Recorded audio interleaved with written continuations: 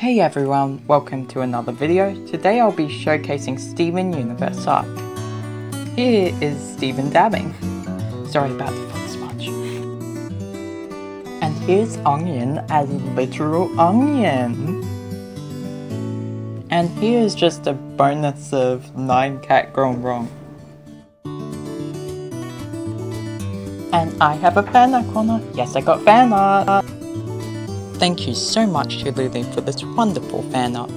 I am so grateful.